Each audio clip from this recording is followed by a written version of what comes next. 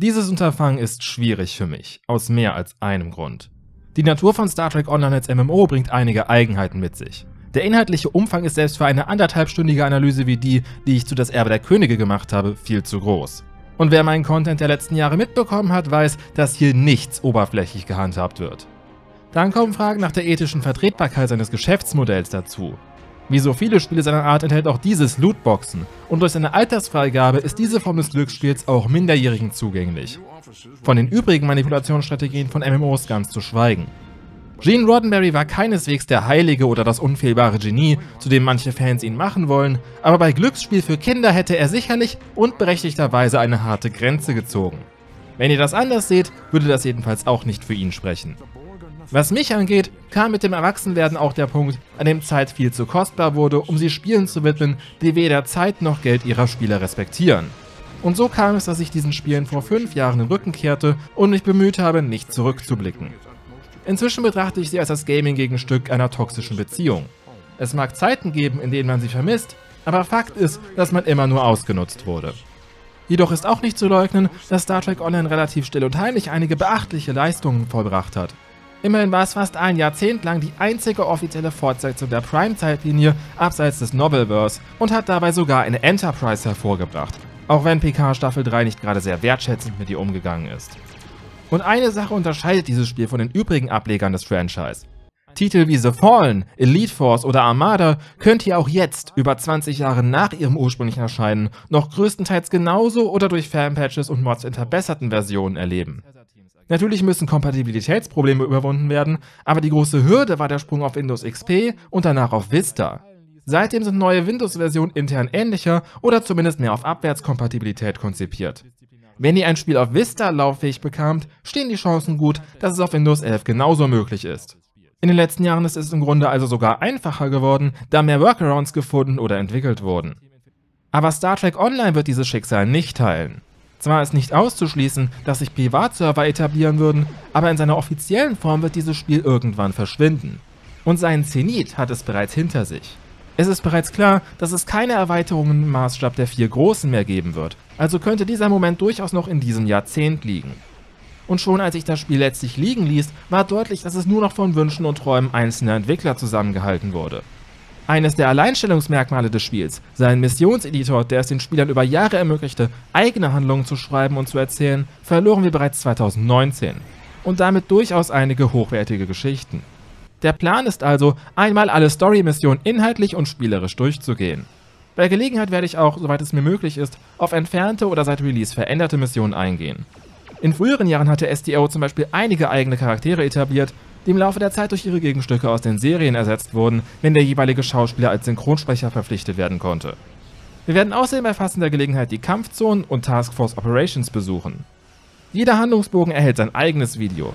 Wenn ihr dieses hier unmittelbar nach Release seht, müsst ihr euch also vielleicht noch etwas gedulden, aber in der Zwischenzeit gibt es schon Reviews zu einigen der alten Star Trek Titel, die ihr vielleicht noch nicht gesehen habt.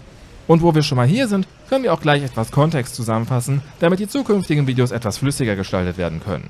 Wir schreiben das Jahr 2009. Der Kinostart von J.J. Abrams Star Trek steht bevor und World of Warcraft dominiert das MMO-Genre. Während sich der neue Film in eine eigene Zeitlinie flüchtet, setzt STO die ursprüngliche Handlung im Jahr 2409 fort, etwa 30 Jahre nach den Ereignissen von Nemesis. Das hält das Spiel aber nicht davon ab, gleich beide Spocks zu rekrutieren. Leonard Nimoy nahm in seiner Rolle als Spock Prime einige Voicelines auf, darunter Beschreibungen zu den Sektorengebieten, die der Spieler im Laufe seiner Reise durchqueren wird. Zachary Quinto dagegen lieh einem MHN seine Stimme, welches als STOs Version von Tutorial Mann agierte. Das ursprüngliche Tutorial warf uns gleich als frisch gebackener Fähnrich in eine Kampfsituation mit einer Borgflotte, in deren Rahmen wir letztendlich das Kommando über ein entbehrliches Schiff übernehmen mussten. Dies funktionierte meiner Meinung nach besser als unser jetziges Tutorial, welches, ob man's glaubt oder nicht, noch viel dicker aufträgt. To be fair, der ganze Punkt des Spiels ist, dass du als Spieler der Kirk, Picard, Cisco oder die Janeway dieser Ära bist und dein Schiff das Heldenschiff mit einer Besatzung, die aus so ziemlich allem bestehen kann, was du dir wünschen könntest. Der Charaktereditor wurde seinerzeit hoch gelobt, da er neben vielen bekannten Spezies auch die Mittel bereitstelle, um eine ganz eigene zu erschaffen. Allerdings hat er auch seine Grenzen, oft sogar sehr willkürliche. Meine aktive Zeit in Star Trek Online lag parallel zu meiner aktiven Zeit in Warframe, weshalb ich unter anderem mal auf die Idee kam, einen Charakter auf Basis der Lotus hochzuziehen. Nur um festzustellen, dass man kaum einem Kleidungsstück, geschweige denn einem, das zur Rolle passte, eine so exotische Farbe wie lila geben konnte. Nie will heute noch nicht in den Schädel, wie man einfach ein Sechstel des fucking Farbkreises ignorieren konnte. Und so umfangreich der Charaktereditor ist, in Sachen Klassen ist er sehr beschränkt. Wir haben lediglich die Wahl zwischen taktischen Offizieren, Wissenschaftsoffizieren und Ingenieuren, welche die heilige Dreifaltigkeit aus Damage Dealer, Healer und Tank darstellen sollen. Wissenschaftler ist hier gleichbedeutend mit Arzt und an Hybridklassen versuchte sich das Spiel erst Jahre später mit den Spezialisierungen.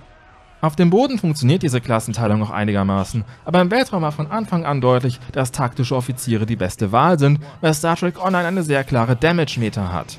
Man muss ja weder heilen noch tanken, wenn die Gegner einfach so schnell tot sind, dass sie dir gar nicht schaden können. Und selbst wenn, wir werden noch darauf zu sprechen kommen, wie schlecht das Spiel mit dem Tod des Spielercharakters umgeht.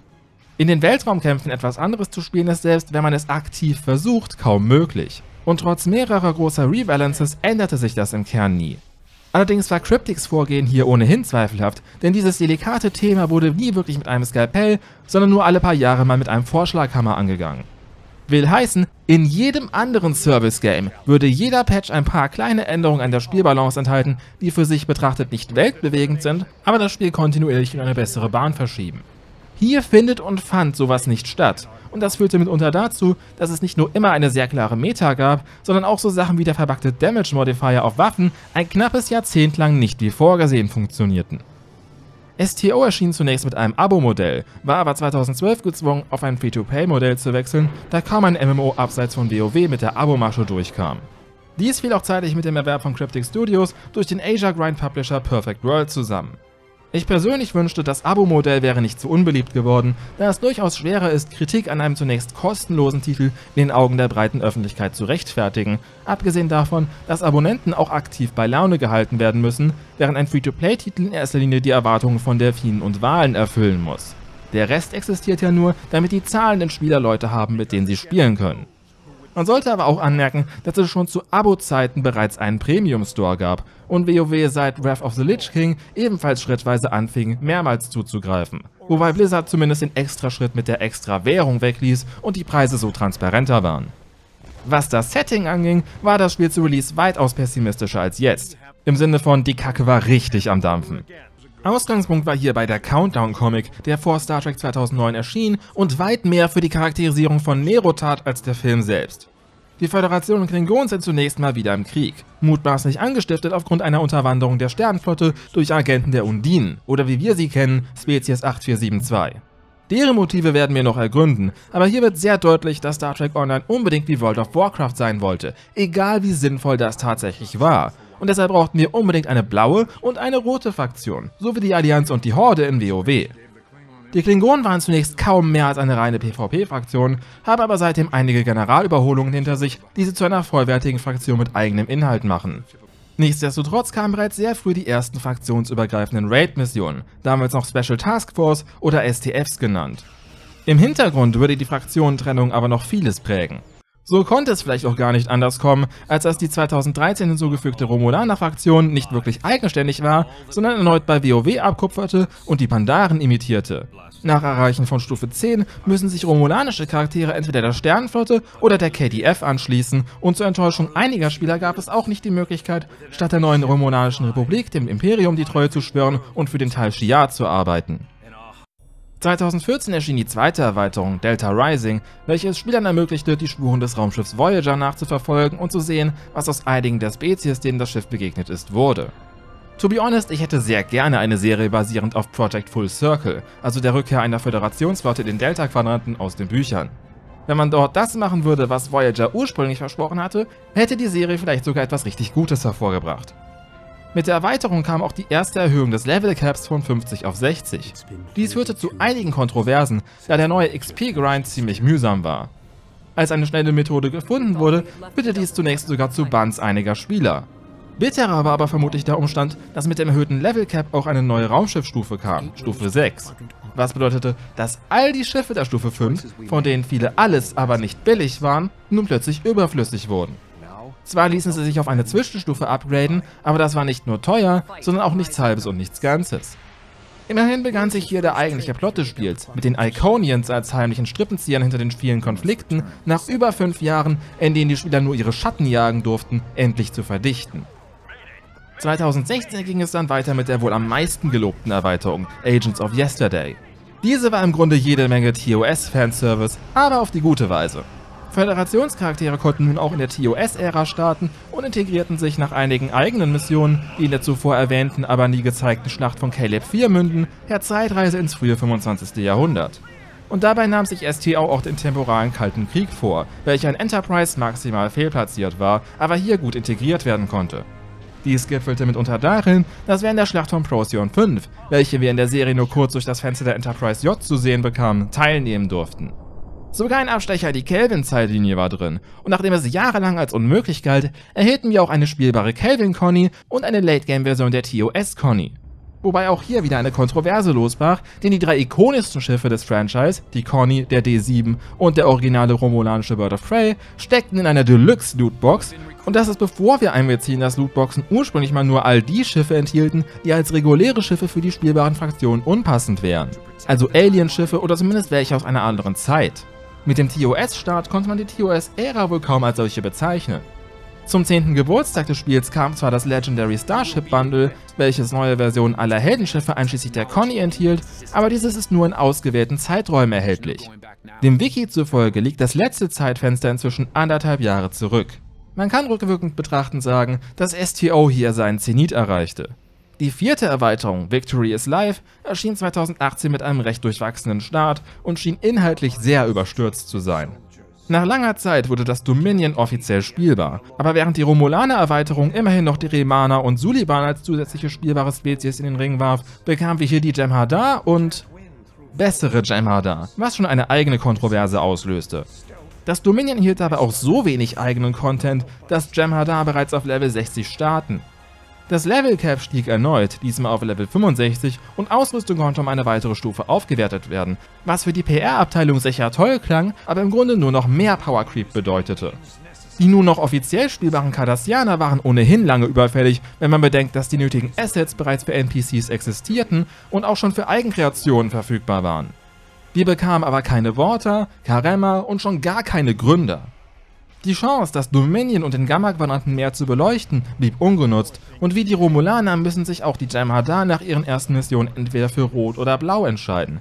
Ich habe am Patch Day gespielt und das Ganze war so verbuggt, dass mir beim ersten Mal glatt der Fraktionswahlscreen für die Romulaner gezeigt wurde, weil man das technische Grundgerüst dafür wohl wirklich eins zu eins kopiert hat.